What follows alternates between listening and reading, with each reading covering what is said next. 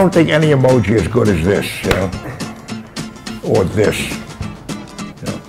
When they come up with, with one that good, I'll, I'll start using it. I think the emojis and the uh, and uh, the uh, and the, uh, the, Twitter language, uh, 140 uh, illiterate words and illiterate spellings, etc. I think it's they're, they're a disgrace. I hate them. I hate everything about them. I know. I wish it never had happened.